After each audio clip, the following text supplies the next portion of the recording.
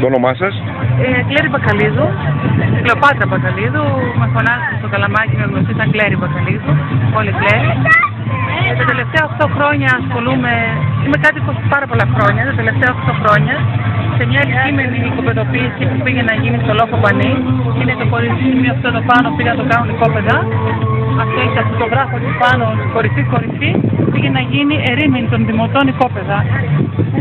Και Πριν από πόσα χρόνια αυτό; αυτό ξεκίνησε, ε, ε, έβραζε, έβραζε μέσα του και πριν 8 χρόνια πήρε μια δημοσιότητα.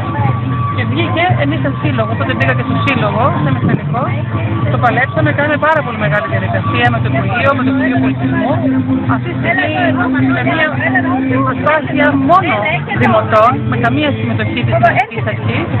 Έχουμε αποφύγει την οικοπεδοποίηση, έχουμε πάρει απόφαση από το Συμβούλιο Επικρατεία να παραμείνει πράσινο λόγο, κηρύχθηκε αρχαιολογικός χώρος στην περιοχή και τώρα αυτή τη στιγμή θα ενταχθεί και στα όλα άκρη του νομού της περιφέρειας, οπότε πια προστατεύεται.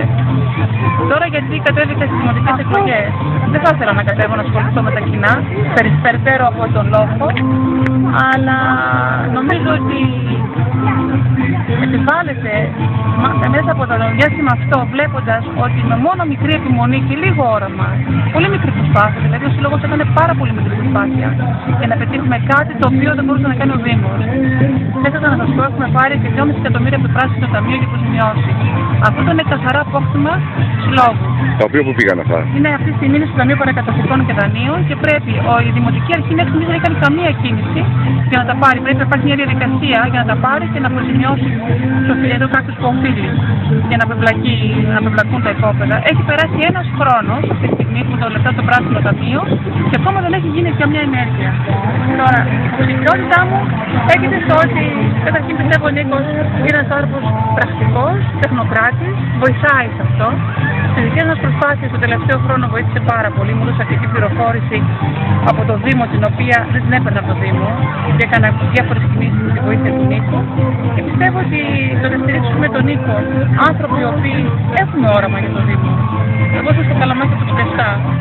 Αυτό χρόνια πραγματικά έχουμε δώσει μεγάλη αγώνα και αυτό το πράγμα να διατηρηθεί αυτό που είναι. Πραγματικά δηλαδή, αν δεν υπήρχε η δράση αυτή που κάναμε, θα τη βλέπαμε αυτή τη στιγμή εδώ σιγά σιγά Χτισμένη. από τα σπίτια. Ε, και νομίζω το φίλο στα παιδιά μου